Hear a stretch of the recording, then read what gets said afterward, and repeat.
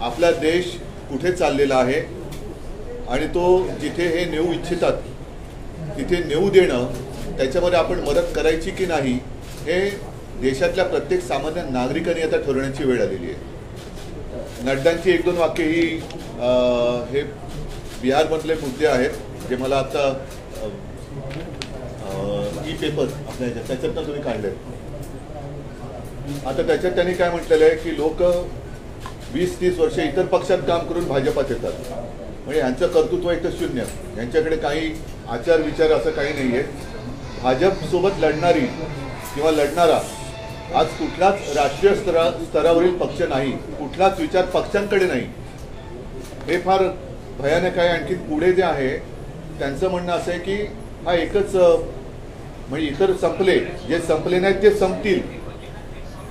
आणि फक्त आपण टिकणार. हे जे त्यांचं वक्तव्य आहे हे देशाला एकछत्री किंबहुना हुकुमशाहीकडे नेणारं वक्तव्य आहे. ओडिसा एक व्यक्तीचा पक्ष तेलंगणा तामिळनाड महाराष्ट्रात शिवसेना जी संपण्याच्या मार्गावर आहे ते त्यांनी प्रयत्न करूनच बघावा. राष्ट्रवादी कुटुंबाचा पक्ष काँग्रेस पण भाऊ बहिणीचा पक्ष भाजपाला वंशवादाच्या विरोधात लढायचे आहे. पहिला भाजपचा वंश कुठून सुरू झाला? हा पण एक महत्त्वाचा मुद्दा आहे कारण तेच म्हणतात की इतर पक्षात काम केलेली लोक आपल्याकडे येत आहेत. मग इतर पक्षातले लोक जर त्यांच्याकडे येणार असतील तर भाजपचा वंश तरी नेमका कोणता आहे? आणि आजचं जे राजकारण चाललेलं आहे ते अत्यंत निर्गुण आणि घृणास्पद आहे. अत्यंत निर्गुण आणि घृणास्पद आहे. म्हणजे त्यांच्यासोबत जे येतील ते आपले हे एक राजकारणात मी समजू शकतो. पण नुसते सोबत येतील ते नाही. आपले जे गुलाम होतील ते काही काळ आपले. त्यांचं काम संपल्यानंतर नवीन गुलाम येतील हे गुलाम जातील. हे गुलामगिरीकडे वाटचाल करणारी ही दिशा त्यांनी ठरवलेली आहे आणि त्याचा सगळ्यांनी प्रत्येक पातळीवरती विरोध करायला पाहिजे. संजय राऊतबद्दल मला नक्कीच अभिमान आहे. कारण ज्या पद्धतीने नड्डा पक्ष वाढवत आहेत ठीक आहे एक गोष्ट नक्की की राजकारण म्हटल्यानंतर आपण साधारणतः बुद्धिबळाशी त्याची तुलना करतो. पण आजचं राजकारण जे आहे त्याच्यामध्ये बुद्धीचा नाही पत्ता फक्त बळाचा वापर चाललेला आहे. आणि नुसतं बळ आज तुमच्याकडे आहे. म्हणून तुम्ही जर का इतरांना संपवण्याच्या मागे लागणार असाल तर दिवस हे सर्वदा सारखे नसतात. दिवस हे फिरतात. आणि मग दिवस एकदा फिरले की तुमचं काय होईल ह्याचा विचार सुद्धा नड्डा साहेबांनी आणि भाजपाने करण्याची आवश्यकता आहे. संजय राऊतबद्दल मला नक्कीच अभिमान आहे. संजय माझा जुना मित्र आहे. आत्ताच मी त्याच्या कुटुंबियांची भेट घेऊन आलो. आई वहिनी त्या दोन्ही मुली काय गुन्हा काय आहे संजयचा? गुन्हा काय पत्रकार आहे शिवसैनिक आहे निर्भीड आहे आणि जे पटत नाही तो बोलतोय. आणि ज्या पद्धतीने त्याला अटक केलेली आहे त्याचं एक वाक्य चांगलं आहे. मरण आलं तरी परवा नाही पण मी शरण जाणार नाही. हे फार महत्वाचं वाक्य आहे आणि तोही शरण जाऊ शकला असता. जे जे शरण तिकडे गेलेत मी असं म्हणेन की हमाममध्ये गेलेले आहेत आंघोळीला गेलेले आहेत आणि जोपर्यंत सत्तेचा फेस त्यांच्या शरीराभोवती आहे तोपर्यंत आमच्यावरती ते टीका करू शकतात. तो फेस गेल्यानंतर त्यांच्या परिस्थितीची त्यांना त्यांना जाणीव होईल. सत्तेचा फेस एकदा का उतरला की ते काय आहेत हे लोकांसमोर येईल.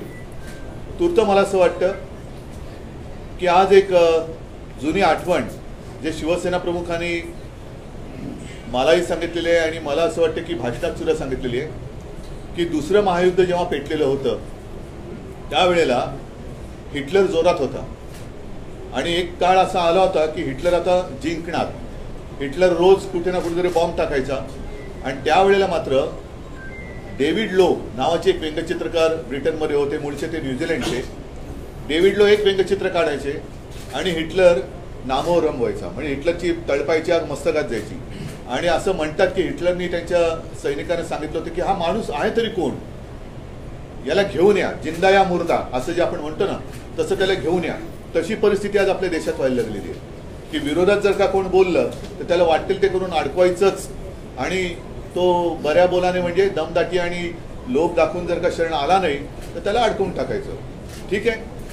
न्यायदेवतेवरती आमचा विश्वास आहेच. कारण शेवटी चार स्तंभ आपण आपल्या लोकशाहीचे मानतो. आणि या स्तंभांपैकी बाकीचे स्तंभ त्याच्यात एक तुमचा सुद्धा आला. आणि तुमच्याचपैकी एक आज त्याला अटक झालेली आहे. ही अटक आणि सगळ्या गोष्टी बघितल्यानंतर मला तर जसं नितीन गडकरी म्हणाले तसं आता वाटायला लागलेलं आहे राजकारण सोडण्याचा मुद्दा नाही आहे पण राजकारण आता घृणास्पद व्हायला लागलेलं आहे. घृणा वाटायला लागलेली आहे या राजकारण्यांची. एक दिलदारपणा पाहिजे. तुम्हाला इतर पक्ष संपवायची जर का हौस असेल तर तुम्ही जनतेसमोर जा. जसे तुमचे काही विचार इतरांना विचार नाही आहेत तर तुमचं काम सोपं असायला पाहिजे. तुम्ही तुमचे विचार मांडा ज्यांच्याकडे विचार असतील किंवा नसतील ते त्यांचे मुद्दे मांडतील आणि जो काही निर्णय आहे तो जनतेला घेता येईल जे आजपर्यंत करत आले. अगदी काँग्रेससुद्धा साठ पासष्ट वर्ष काँग्रेसने राज्य केलं. आज काँग्रेसची परिस्थिती बघितल्यानंतर लगेच जे कोणी सत्तेत बसलेले आहेत त्यांनी मोठमोठ्या बड्या मारण्यामध्ये काही अर्थ नाही आहे कारण हेही तुम्हाला सांगतो की मला एका गोष्टीचा नक्कीच एक अभिमान आहे की मी अडीच वर्ष मुख्यमंत्री जरूर होतो. पण त्या अडीच वर्षाच्या काळामध्ये माझ्या डोक्यात कधी मुख्यमंत्री पदाची हवा गेली नव्हती ती मी जाऊ दिली नव्हती आणि मला ती त्याची त्याचा स्पर्शही झाला नव्हता. याचं कारण शिवसेना प्रमुख जे सांगायचे की या सगळ्या ज्या गोष्टी असतात पदं असतील सत्ता असतील असेल येते जाते परत येते. पण तू नेहमी लोकांशी नम्र राहा. लोकांशी नेहमी नम्र राहा. मी नम्र राहण्याचा प्रयत्न ने- नेहमी करत आलेलो आहे. आज मात्र जे ज्यांच्या डोक्यात हवा गेलेली आहे त्यांनाही मी सांगू इच्छितो की निर्घुणपणाने वागू नका. दिवस आणि काळ हा सगळ्यांसाठी नेहमी चांगलाच असतो असं नाही. तो काळ बदलत असतो आणि काळ बदलल्यानंतर आपण जसे लोकांशी वागलोय तसा तो बदललेला काळ हा कदाचित जास्त निर्घुणपणाने आणि दुष्टपणाने तुमच्याशी वागू शकतो किंवा शकेल. तर ती वेळ ही संस्कृती आपल्या हिंदुस्थानामध्ये आजपर्यंत तरी नाही आहे. ती याच्यापुढे येऊ देऊ नका. सर एकनाथ शिंदेने असं काल म्हटलं होतं जेव्हा ते दौऱ्यात होते आता की जुन्या गोष्टी आहेत मीही बोलू शकतो अनेक गोष्टी जाऊ द्या त्याच्यावरती मी काय उत्तर देणार नाही. आमच्या केदारनी त्याला उत्तर चांगलं दिलेलं आहे. केदार निगेने उत्तर दिलेलं आहे. आणि मला त्याच्याबद्दल काय बोलायचं जे विधान आहे ते फार घातक आहे आणि गंभीर आहे. हा, ते लक्षात घेता प्रादेशिक पक्षांची एकजूट असावी. यासाठी आता पुन्हा म्हणजे हा जो मुद्दा ऐरणीवर आलेला आहे. एकत्र? एकच हा महत्त्वाचा मुद्दा तुम्ही मांडलात. प्रादेशिक पक्षाची एकजूट हा पुढचा टप्पा झाला. पण प्रादेशिक पक्ष संपवण्याचं जे भाजपचं कारस्थान आहे त्याची सुरुवात ही परवाच्या कोश्यारींच्या मी राज्यपाल हा शब्द मुद्दा म्हणून वापरत नाही कोश्यारींच्या उद्गारातून झालेली आहे. आणि आज नड्डा जे म्हणाले की सगळे पक्ष संपव संपतील म्हणजे प्रादेशिक अस्मिता चिरडून टाकायची. हिंदूंमध्ये पुन्हा सांगतो हिंदूंमध्ये फूट पाडायची. भाषिक ती फूट भाषिक भाषा भिंती त्याच्यात उभ्या करायच्या आणि स्थानिक अस्मिता ही चिरडून टाकायची. म्हणजे मराठी माणसाला चिरडून टाकायचं आणि पुन्हा मराठी अमराठी असं राजकारण करायचं. स्वतःच्या राजकारणाच्या तुंबड्या भरून घ्यायच्या आणि आपल्या विरोधात जर कोणी असतील तर त्यांना चिरडून टाकायचं. असं हे भाजपाचं कारस्थान आता अत्यंत भेसूरपणाने जनतेसमोर आलेलं आहे एक प्रश्न असा आहे की ज्याप्रमाणे आपण प्रादेशिक पक्षांना ताकद देण्याची गोष्ट करता ममता बॅनर्जी या ठिकाणी आल्या आणि सगळ्यांना एकत्र करण्याचा प्रयत्न केला परंतु तो प्रयोग मात्र राष्ट्रपती उपराष्ट्रपतीच्या या निवडणुकीमध्ये. एकत्र शेवटी एक लक्षात घ्या त्याही वेळेला म्हणजे तेव्हा आणीबाणीच्या वेळेला. आणीबाणीला एक अनुशासन देशाला अनुशासन पाहिजे म्हणून शिवसेनेने जरूर पाठिंबा दिला होता. कारण ते पुन्हा त्याच्यावर ते बोलतील तुम्हीच पाठिंबा दिला होता. हो ते अनुशासनासाठी. कारण तो सगळा इतिहास आणीबाणीचा काढला तर त्या सगळ्या गोष्टी तुम्हाला दिसतील. पण तेव्हा सगळेजण ज्यांचा राजकारणाशी संबंध नव्हता म्हणजे अगदी आपले पु ल देशपांडे मी महाराष्ट्र पुरतं बोलतोय दुर्गाबाई भागवत वगैरे हे सुद्धा साहित्यिक विचारवंत की त्यांना कळत होतं की अरे हे योग्य नाही चाललेलं आहे. त्यांनी परिणामाची पर्वा न करता त्या लोकशाहीच्या होमकुंडामध्ये उडी मारली होती आणि लोकशाही जिवंत ठेवली होती. तर मला असं वाटतं की एखादी गोष्ट म्हणजे जसं राष्ट्रपतींची निवडणूक असेल आणखीन गोष्ट असेल त्याच्यावरनं लगेच तुमचं ऐक्य होणार की नाही हे काही अवलंबून नसतं. आत्तासुद्धा वेळ गेलेली नाही म्हणण्यापेक्षा अजून वेळ पूर्ण आलेली नाही आहे पण ती वेळ जाण्याच्या आधी किंवा वेळ येण्याच्या आधी देशातील सर्व राजकीय पक्षांनी म्हणण्यापेक्षा सर्व जनतेने विचार करण्याची वेळ आता आलेली आहे. हे जे सगळे त्यांच्यावेळी काही लोकांनी म्हटलं जेव्हा ईडीच्या चौकशा सुरू झाल्या की तुम्ही भाजपशी जुळवून घ्या. म्हणून मी म्हणतो ना हमाममध्ये गेलेत ते. तो सत्तेचा फेस आहे त्यांच्या शरीरावर. तो फेस गेल्यानंतर मग काय दृश्य असतं ते मला बोलायचं नाहीये. तर ते कळेल. पण ह्याच्यात मला म्हणाला मला मी पुन्हा सांगतो की जसं आता माझ्या बाजूला अरविंद आहेत वायकर आहेत सुनील आहेत असे अनेक. म्हणजे कोणतरी एक दलाल बोललाय की आता यांना आमदार आणि खासदार शोधावे लागतात. एक दलाल कोणतरी बोललाय दलाल आहे तो. तर आमदार आणि खासदार ठीक आहेत पण माझ्याबरोबर आहे ते दमदार आणि वफादार आहेत.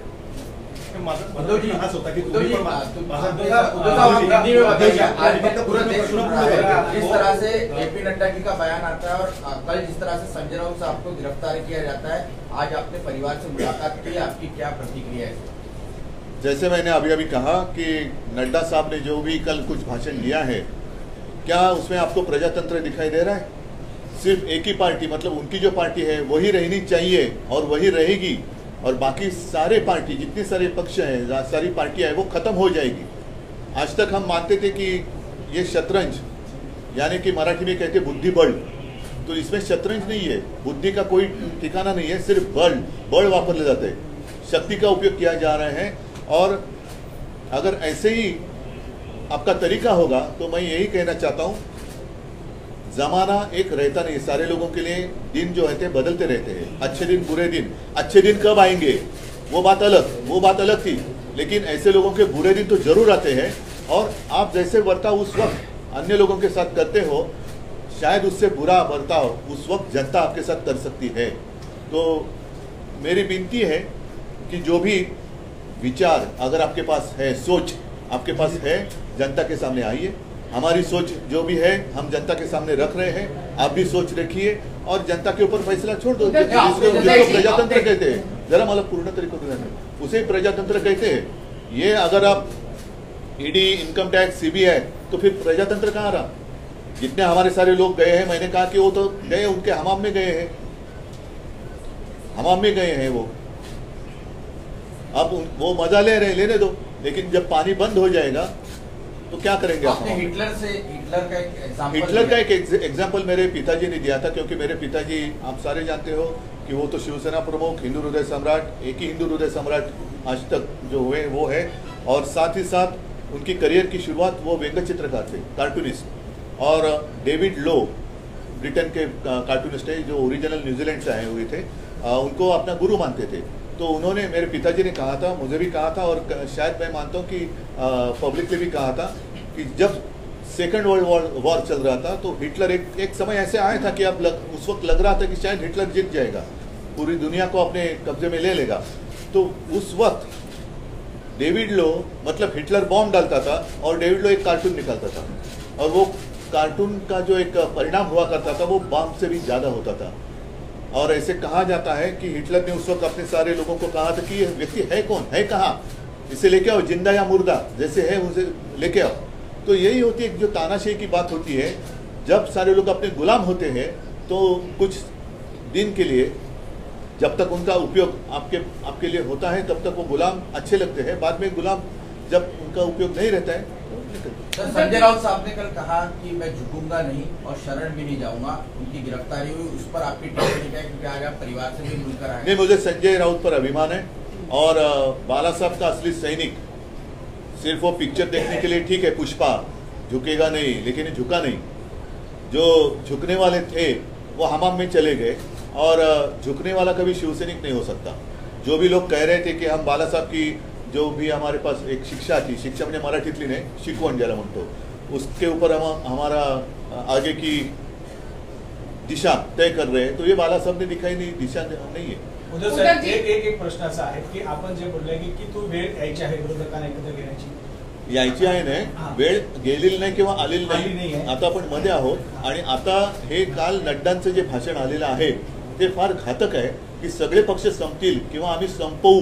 असा त्याचा कंसातला अर्थ आहे. पण माझा प्रश्न असा आहे की अं, भाजपचाही हिंदुत्व आहे शिवसेनेचं हिंदुत्व आता. हे विषय सगळे ते झालेले आहेत. एक शिवांगी फ्रॉम जी न्यूज मेरा सवाल ये है कि मौजूदा मुख्यमंत्री एकनाथ शिंदे वो ये कहते हैं कि रोज सुबह उठकर आठ बजे बजने वाला भोपू अब अंदर चला गया। मुख्यमंत्री पद पर बैठे व्यक्ति को इस तरह का वक्तव्य जो है वो एक सांसद के लिए देना चाहिए। आप क्या कहते हैं? मैं उसके ऊपर कोई टिप्पणी नाही करना चाहता हूँ। कारण कारण मुळामध्ये त्यांचं सगळं सरकारच कोर्टात चॅलेंज झाले नहीं नहीं पूरी सरकार जो है उसी को हमने चैलेंज किया है कोर्ट में अदालत में तो फिलहाल मुझे उसके ऊपर कुछ कहने की जरूरत है बंगालमध्ये पण असा जी परिस्थिती पाहायला मिळते कुठेतरी तुम्ही प्रादेशिक पक्षाच्या नेत्याशी संपर्क करताय किंवा तुम्हाला कोणी संपर्क केलाय काही चर्चा झाली असं आहे की ममता दिदी आहेत के सी आर आहेत अशी काही लोक हे संपर्कात आहेत पण जसं मी म्हटलं ना काल आता यांचा मुखवटा पूर्ण बाजूला झालेला आहे आणि जसं मी परवा आपल्या कोश्यारीना एक धन्यवाद दिले होते की तुमच्या पोटातलं ओठावरती आलं अनावधानाने की महाराष्ट्रामध्ये मराठी माणूस किंवा मराठी अस्मिता चिरटण्याचं जे तुमचं स्वप्न आहे ते तुम्ही कदाचित अनावधानाने आमच्यासमोर आणलं. तसंच काल भारतीय जनता पक्षाचे अध्यक्ष जे आहेत त्यांच्या पोटातलं ओठावरती आलं की त्यांना या देशात आता दुसरे कोणतेही पक्षच नको आहेत म्हणजे हुकुमशाही पाहिजे याचा असा त्याचा अर्थ झाला. संजय राऊतांना अटक केल्यानंतर काल शरद पवारांचे अजून एकही वक्तव्य आलं नाहीये. तुम्ही पण बोला आता- तर अशी एक चर्चा आहे की संजय राऊतांना एकटं पाडलं जात आहे का? यावर तुम्हाला मला या फालतू प्रश्नाला उत्तर द्यायची नाहीये. कारण मी आता संजयच्या घरी जाऊन आलो. पुन्हा एकदा सांगतो की संजय आणि आमचे कौटुंबिक चांगले संबंध आहेत. संजय माझा जुना मित्र आहे. आणि म्हणूनच त्याला मी आरोचुरे करतोय. तो एक कट्टर शिवसैनिक आहे. आणि त्यांनी या दंडेलशाही विरुद्ध न झुकता लढू शकतो ही एक ठिणगी नक्कीच त्यांनी टाकलेली आहे